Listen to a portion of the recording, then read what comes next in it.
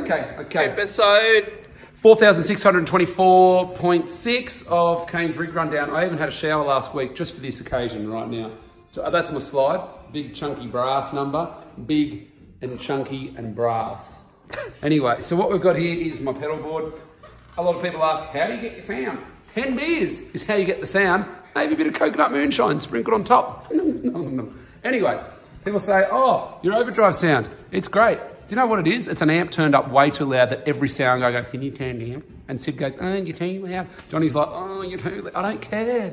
You've got to crank that shit. Anyway, so we've got my overdrive here. It's a JHS Super Bolt. It has a switch. Look at this. On, off. Look at that. Look, look at this. On. Look at this. It's my pedal. Give it back. Ah, Johnny, whatever, mate. It's mine. On, off, on. Okay, so what happens when it's on is my overdrive sound I use a lot, pretty much the whole time. That's all I use on the street. Ready?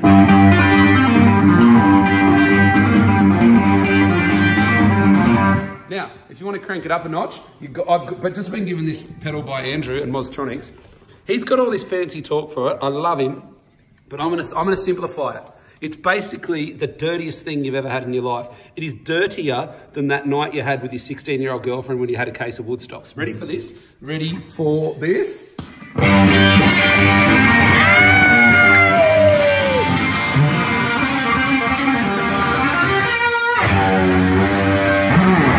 Now, woo, we've just had a bit of overdrive, had a bit of dirt. Love, love me a pog. Love me a pog. Love you long time pog. Ready for this?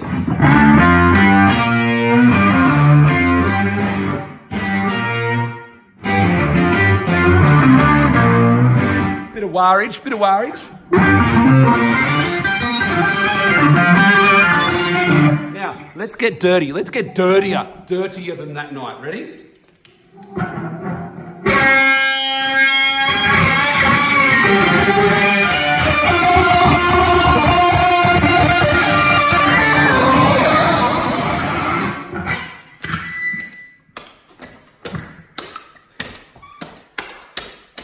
Okay, they're all on and off. I don't know. That's my rig down. No, no, no, rig down. That's my rig run down. Woo!